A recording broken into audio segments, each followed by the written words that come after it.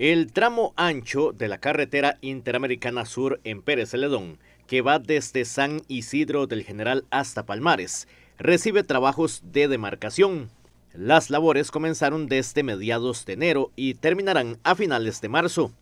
En el proyecto se utiliza material termoplástico, el cual presenta un desempeño superior de durabilidad y resistencia con respecto a la pintura con base solvente o base agua.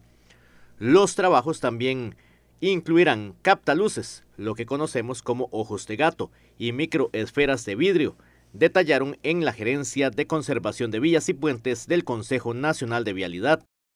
Las labores se extienden a lo largo de unos 8 kilómetros y tendrán un valor de 184 millones de colones, con lo que se busca dar mayor seguridad vial a los usuarios de la carretera sean peatones, ciclistas y conductores, comprendiendo que esa sección de la Ruta 2 tiene un alto dinamismo comercial, presencia de muchos centros de estudio cerca de la vía, además de contar con cinco carriles de circulación, dos por sentido y uno de giros izquierdos. Las tareas se ejecutan con presencia de las cuadrillas de demarcación vial desde las 7 de la mañana y finalizan a eso de las 4 de la tarde antes de que inicie la hora pico en ese horario comentaron en la gerencia vial.